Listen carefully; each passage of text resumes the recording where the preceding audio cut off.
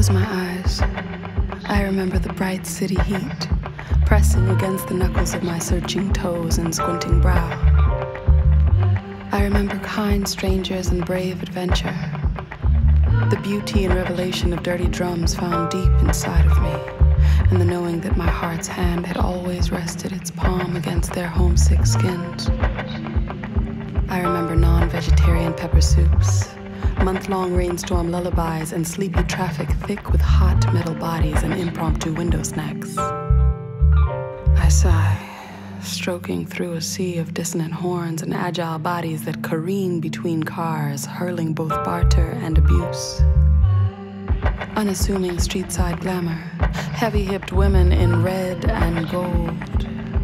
A body of water full of reeds and houses on sticks expands under a concrete stretch to Victoria Island. I remember being told to pronounce Yoruba with my mouth wide open and to shine my eye.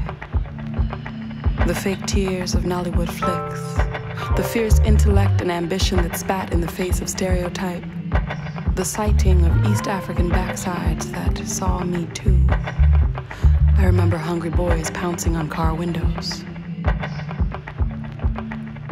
And I remember looking away.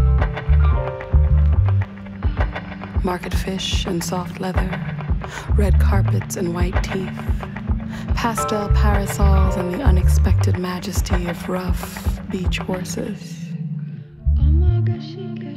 that startle you. Champagne, anyone?